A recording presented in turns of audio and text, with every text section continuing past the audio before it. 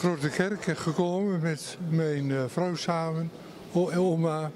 Onze kleinkinderen zijn vandaag bij ons en die hebben we meegebracht hier naar de kerk. Die vinden het al een feest om eh, hier te kijken. En die kaartjes en zo, dat doet natuurlijk heel veel. Maar we hebben ze nog even gevraagd van waarom doen we dat?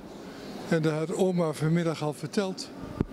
Dat dat ging voor de mensen in, in de oorlog, voor de kinderen en voor de oma's en voor de opa's.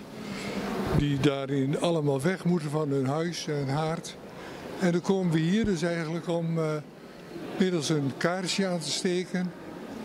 Denken we aan meerdere of één alleen, maar in ieder geval ter gedachtenis dat we mee willen leven in ons hoofd en in ons hart.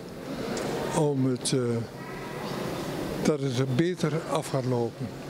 Ik ben hier om stil te staan voor de mensen in Oekraïne.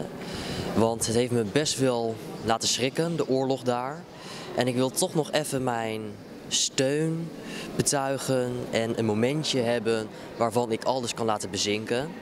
En om te bidden voor de mensen in Oekraïne, de mensen die dezelfde dromen hebben, die hetzelfde zijn als ons en die dan zo'n slechte situatie voor zich krijgen.